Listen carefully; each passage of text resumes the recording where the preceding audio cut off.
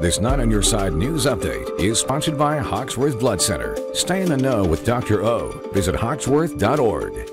It's Thursday, and these are your WCPO 9 on Your Side headlines for today. We're learning more about an early morning shooting in OTR. Police have confirmed the entire thing started as an armed robbery attempt on McMicken Avenue. So this is what happened. We are told two men in dark clothing approached the victims just after 5 this morning, pointed a gun at them, and demanded money. Multiple shots were fired and many of the casings were left on the ground. One of the victims was shot in the knee and hip. The other was not hurt. We're told the gunman then left the scene on foot. Well, police are investigating the circumstances that led to a shooting on Reading Road just a couple of hours ago. The victim was inside a car near Dale Road. It appears they were shot from the passenger side in the chin and abdomen.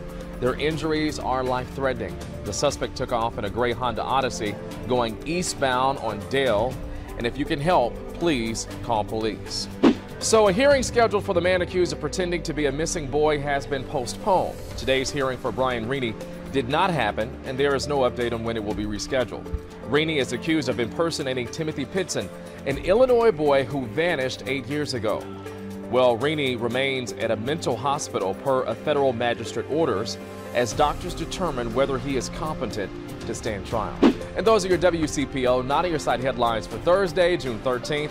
Follow me on Twitter at RyanWCPO. You can also catch me weekdays at noon on 9 on Your Side. Have a great day.